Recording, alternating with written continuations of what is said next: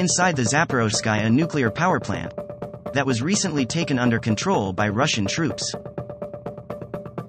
This is the biggest nuclear power station in Europe. Station staff continues to work. The Ukrainian guard surrendered and were allowed to go home after they signed documents on non participation in hostilities.